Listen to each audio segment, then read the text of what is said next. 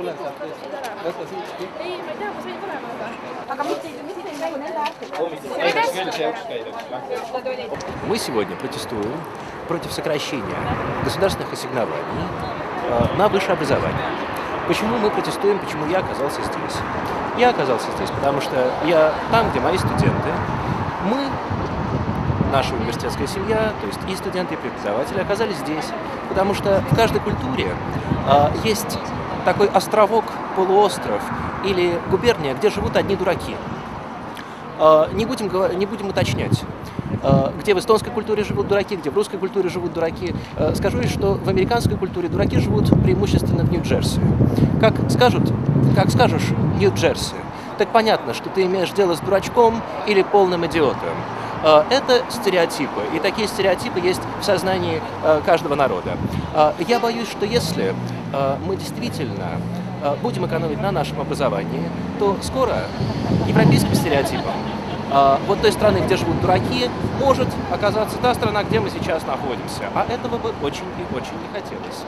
Прежде всего, это касается сокращения ассигнований, прежде всего, это касается сокращения э, изменения порядка компенсации учебных кредитов.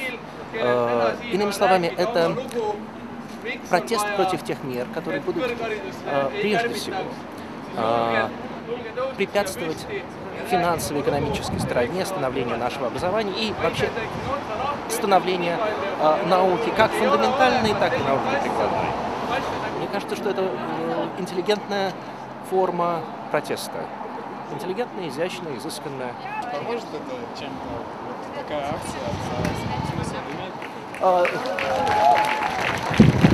Бог его, Бог его знает. Вообще, вообще, вообще, вообще хороший, хороший тест на цинизм нашего правительства. Если у нас в правительстве циники, то они, наверное, решат, что ну хорошо, сейчас ребятишки порезвились, мы дали им выпустить пар, и дальше может все продолжаться так, как оно и есть. Если не циники, то даст Бог, э, действительно наша акция и сегодняшнее наше собрание возымеют успех. tahetakse perelugu, tahetakse edasi elada juba kõrgemal arenguastmel. ja siis tuleb majanduskriis ja mingisugused poliitikud ütlevad, et me võtame sul leiva laualt ära. mida ma teen?